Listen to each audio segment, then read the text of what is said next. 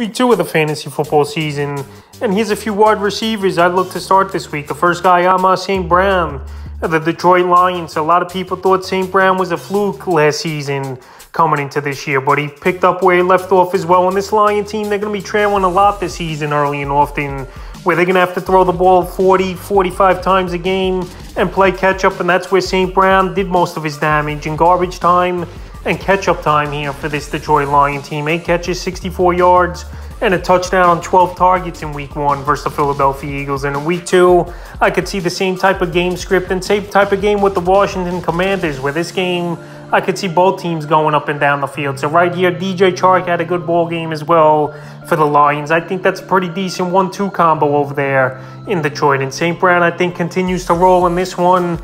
And I wouldn't be surprised if he has anywhere from 15 to 18 fantasy points in PPR leagues here. And he's a wide receiver I would start as a number two or flex option this week. The next wide receiver is Juju Smith Schuster of the Kansas City Chiefs. A Juju, the thing with him has always been health. And in week one, he looked healthy versus the Arizona Cardinals. And he had a mediocre ball game, six catches, 79 yards, and a fumble loss. But right here in week two, he's got a matchup where I think it's going to be a shootout in a division ball game with the Chargers and the Kansas City Chiefs, and he had eight targets. I know Patrick Mahomes spread that football out for the five touchdowns he threw in that ball game. But right here, Kansas City's home at Arrowhead.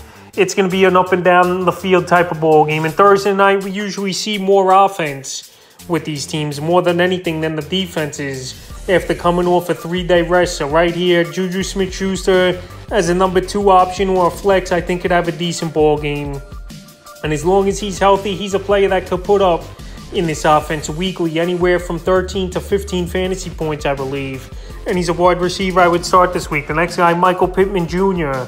of the Indianapolis Colts. So Michael Pittman, what a week one he had versus the Houston Texans. And him and Matt Ryan already look like they're on the same page. A huge ball game. Nine catches, 121 receiving yards, and a touchdown on 13 targets. Good.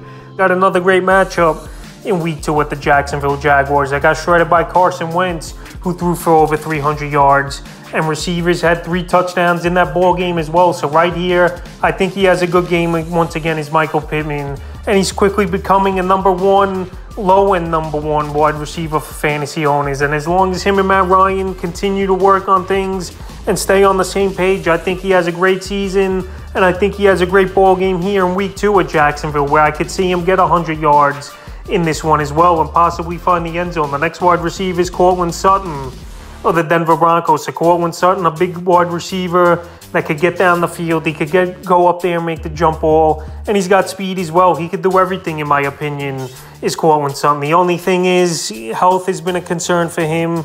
And him getting the targets. Week one, only seven targets, four catches, 72 yards.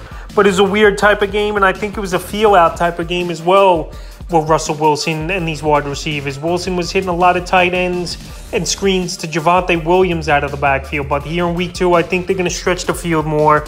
Houston Texans, they're vulnerable to giving up the big play. And like I mentioned with Pittman versus Houston in week one, he had 127 yards. And I think Sutton in this one, he could have 80, 90 total yards in this ball game and find the end zone as well because I don't see Houston really stopping this Bronco offense really as long as the Broncos take care of the football, which they didn't do on Monday Night Football with a few fumbles in that ball game. Fifth and final wide receiver I look to start this week is Terry McLaurin of the Washington Commanders. So week one, if he didn't get that 41-yard touchdown, he didn't do much in that ball game was Terry McLaurin. Only two catches, 58 yards, and a touchdown on four targets. But right here, Carson Wentz, he was airing that ball out.